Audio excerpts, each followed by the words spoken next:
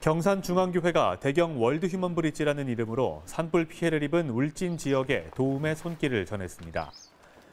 국제구호 개발 NGO 대경 월드 휴먼 브릿지는 3만 원에서 5만 원 상당의 생필품과 식품으로 꾸린 사랑의 보따리 약 550개를 준비하고 울진군 기독교 총연합회를 통해 산불 피해 이재민들에게 전달했습니다.